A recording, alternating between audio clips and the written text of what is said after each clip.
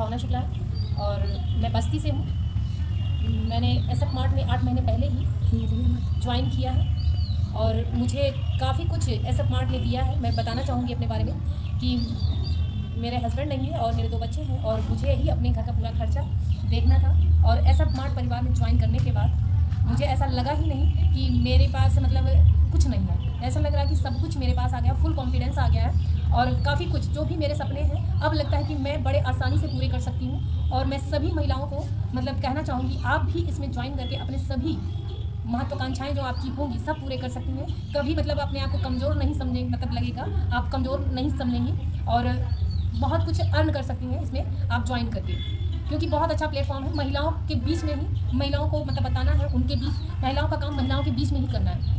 तो मेरी मतलब पहले तो कुछ भी नहीं, मुझे कोई नहीं जानता था, लेकिन ऐसा स्मार्ट मतलब सुमन जी आई है स्मार्ट पर मतलब सीनियर है वो, और वो आई और उन्होंने बताया, समझाया, मुझे बहुत अच्छा लगा, और मैंने ज्वाइन किया, और अब मेरे नीचे जो है आठ हज़ार टीम है, और जब मैं कर सकती हूँ तो मेरे ख्याल से कोई भी कर सकता है, और सब लोग कर सकते हैं। तो मेरी मतलब मैं बहुत बहुत धन्यवाद देना चाहूँगी एस एफ़ मार्ट फैमिली की, कि उन्होंने मुझे फुल सपोर्ट किया, और मैं यहाँ तक हूँ। आज जो भी हूँ, मैं एस एफ़ मार्ट परिवार की वजह से ही हूँ। और मुझे बहुत प्राउड फील होता है कि मैं एस एफ़ मार्ट परिवार से जुड़ी